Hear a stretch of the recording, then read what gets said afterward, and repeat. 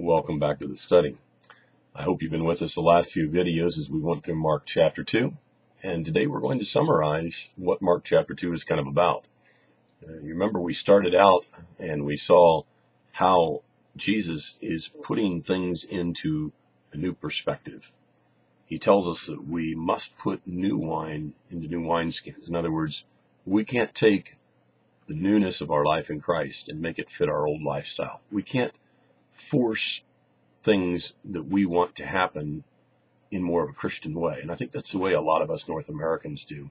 We try to take our lifestyle and make it mold and shape to Christianity or to the morals and teachings of Christ and to the redemptive power of Christ's Holy Spirit living in us on a day to day basis. And it really is the opposite. Uh, there's new, fresh life being brought into us Paul says in Corinthians, he says, the old things are passed away and things have become new. It's not an act of remodeling the old house, it's getting a new home.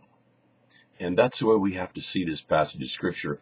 Jesus goes on to give us examples of this very same thing. He just takes one as an example of the Sabbath, and he says, you know, you've been taught it a certain way. And, and I mean, these are all part of the peripheral understandings of what happened here in Mark chapter 2.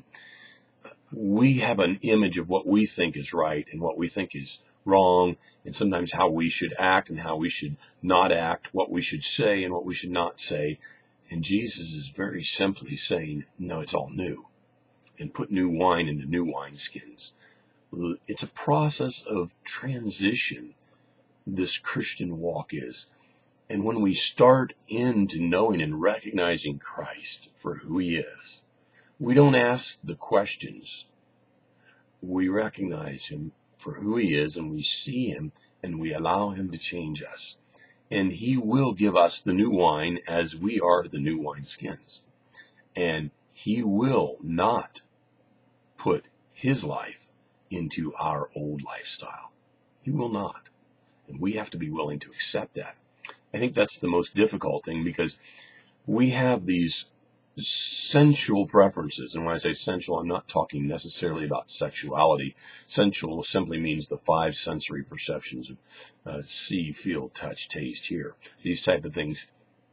We live by them because they are so common to us as human beings. In fact, we are really spiritual beings encased in humanity because this flesh is going to die someday and I will continue to live. Where I will continue to live is the issue, whether I live in the presence of God or in the total absence of God.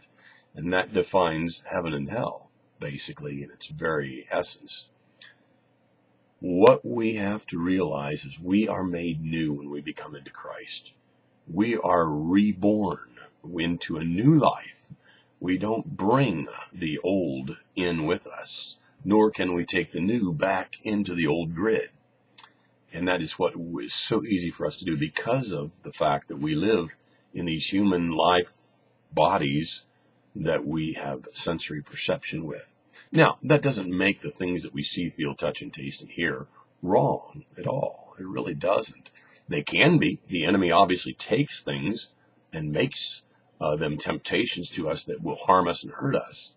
But we live a new lifestyle. We live a new way. We live governed by a new authority in our life. See, in our old life, we are governed by ourselves. And the Bible says very clearly in the Old Testament, every man's right in his own eyes. In other words, he thinks he knows how to run his own life. But when we come into Christ, we are made new, and his new life, that fresh wine, comes into our new wineskins, that reality of new life that we find born in him. And he changes things. And he used this Sabbath there at the end of our text as kind of an example. You thought you knew what that was. He says, no, no, no, no, no, no. It's different now. You were made for the Sabbath, not the Sabbath made for you. And, and, and it's not just an issue of the Sabbath. And there are some denominations in Christianity who fight over what the Sabbath is, when it is, how it's practiced, when it shouldn't be practiced, what matters, what doesn't matter.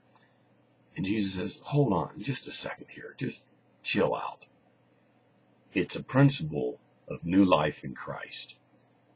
I'm going to put new wine in your new wineskin because you are a new wineskin. When you were born into Christ, when you were baptized into Him, Paul says, we are all one in Him. In other words, there is this issue of newness of life and family together in Christ. That's the beauty of the whole thing. So, as we look at Mark chapter 2, we realize he's giving us examples of how to live new, how to be a new creature in Christ, how to understand the principle of not taking the new wine of the Holy Spirit and the life of Christ in us and trying to make it fit in what we used to do. It won't. And he says, even in our concepts of what we thought was right, now it's different. Some people would say, well, that sounds like Jesus is changing moral codes on us. Sounds like Jesus is saying now what the Old Testament was all about isn't, it doesn't count anymore. No, it does. It's who lives it out in you now. You tried before, he will now. And that is the assurance we can have and the truth that we obtain from Mark chapter 2.